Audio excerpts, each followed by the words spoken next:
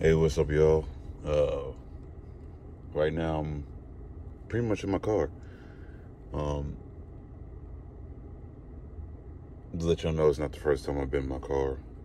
Um, before I actually stayed up on boy's crib, I was living in my car for about three weeks because uh,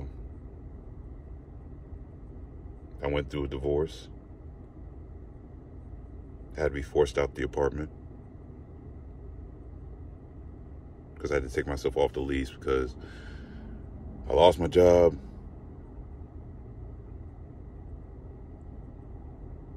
Job stole money from me, try to keep me off some contracts that got bought. To where I'm still trying to fight for that stuff too to get my money back because the guy never ever responded to me saying anything about the rest of the money that's supposed to be coming to me. But yeah, like I said, divorced. Lost my job, lost the apartment, so I was living in the car for about three weeks until my boy's parents were actually able enough to, you know, help me out and let me stay with them for a few months. Uh,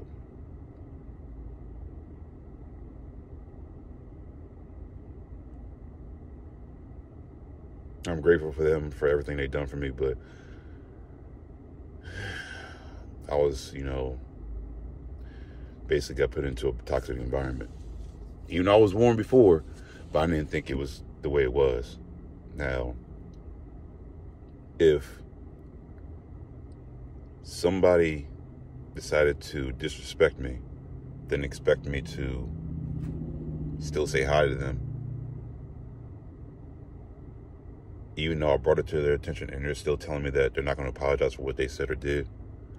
I got a problem with that. I got to remove myself from the situation. There's a lot of stuff going on going on at the place I was staying at. Too many fights, too many arguments, people cussing at each other. I couldn't do it. That's not my type of and that's that's not my type of vibe. I, I'm not used to that. I'm not used to people disrespecting themselves, especially family members disrespecting each other. I'm not used to that.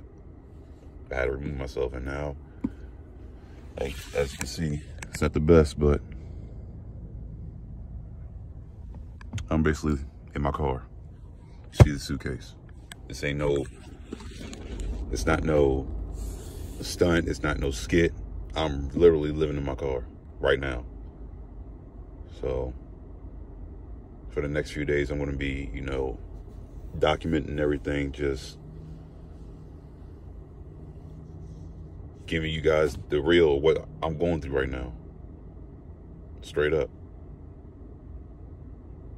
This is not no sympathy thing.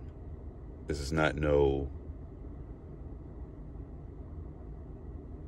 I mean, I don't even know what to say because I'm just. I'm tired. I'm tired.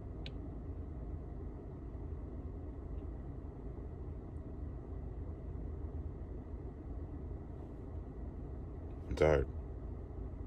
I'm doing the best I can, but I'm just tired.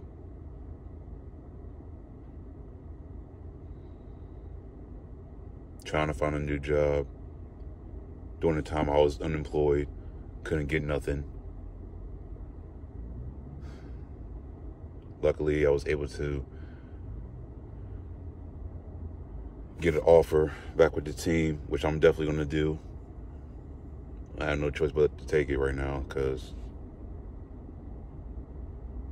I got this shit going on. But at the end of the day, man, just pray for me. Like I said, I'm going to be documenting this stuff for the rest of the time, time being for the next two weeks. So y'all going to see a new update almost every single day. So stay tuned.